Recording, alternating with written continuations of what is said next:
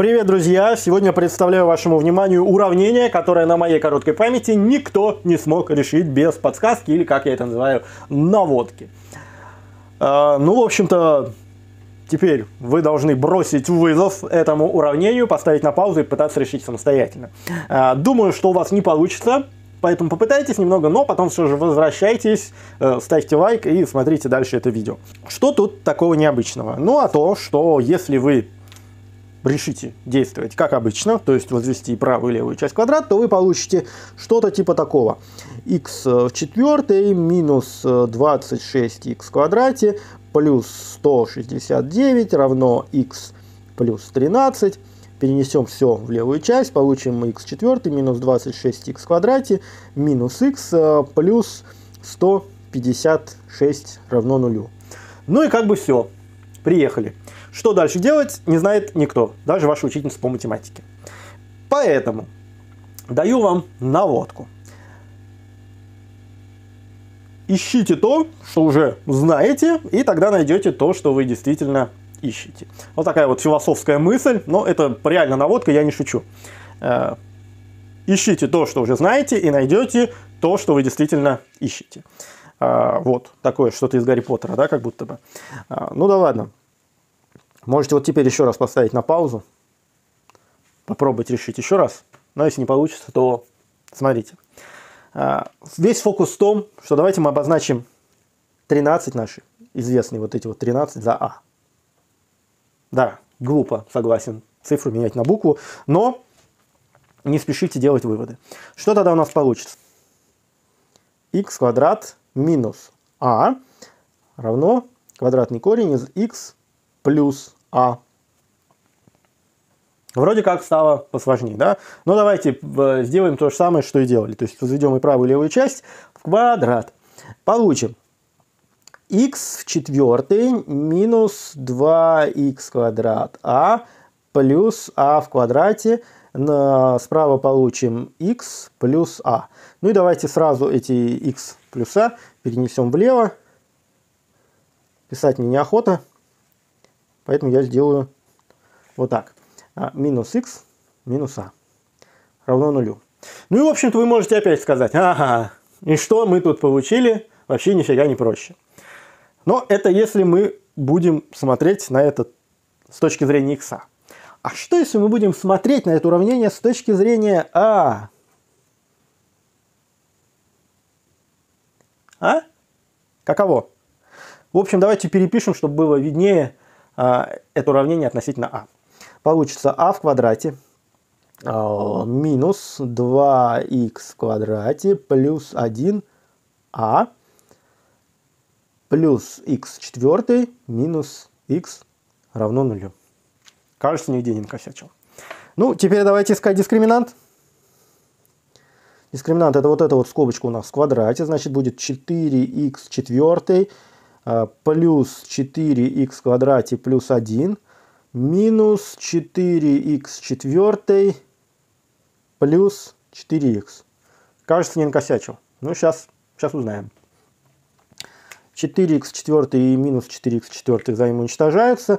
Получается 4х в квадрате плюс 4х плюс 1.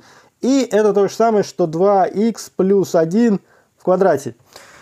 Вроде дискриминант получился красивый, да? Полный квадрат, поэтому будем считать, что я не накосячил. Таким образом, а первое равняется 2х квадрат плюс 1 плюс 2х плюс 1 деленное пополам. Так, получается 2х квадрат плюс 2х плюс 2, делим все это на 2. В общем, получится х квадрат плюс х плюс 1. А второе равняется 2х квадрат плюс 1 минус 2х минус 1. Делить пополам. Минус 1 и плюс 1 взаимоуничтожаются. Получается просто х квадрат плюс х. И теперь финт ушами. Вспоминаем, что А это 13.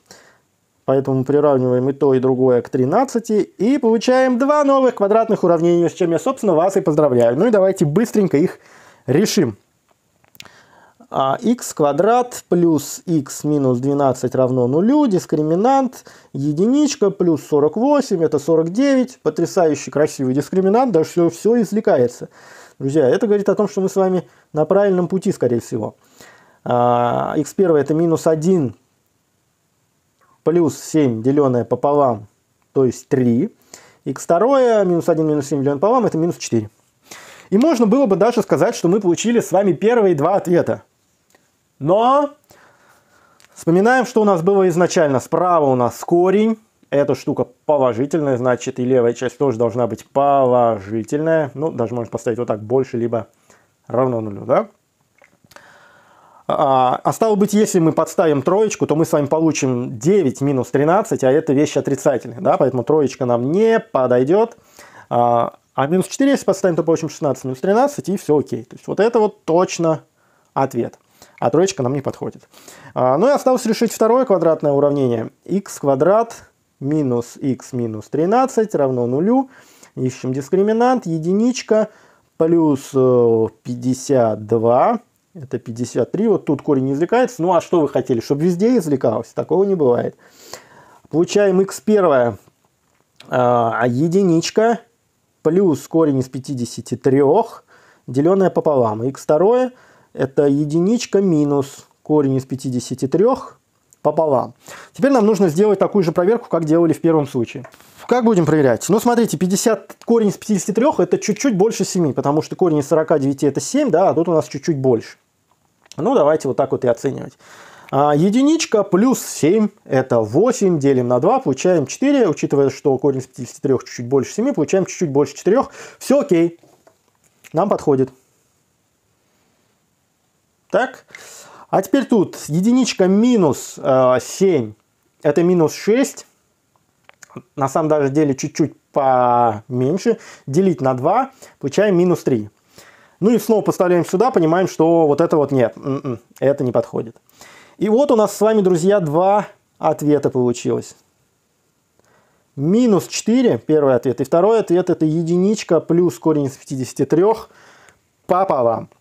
Вот такое клевое уравнение я просто реально испытал катарсис, когда его решил. Надеюсь, что у вас все-таки получилось самостоятельно решить. Если да, то пишите об этом в комментарии. Я, я, я, я, я, я, самый умный, я решил. Вам прям будет респект и уважуха. А, если не решили, то, друзья мои, ну вы досмотрели видео и теперь точно решите. В любом случае молодцы. А, не забывайте ставить лайк, подписывайтесь, пожалуйста, на все мои каналы в Яндексе, в Зене, на Ютубе, в Телеграме. И пока, до новых интересных задач. Спасибо, что досмотрели это длинное видео. Надеюсь, вам было интересно. Спасибо за вашу любовь к математике, друзья.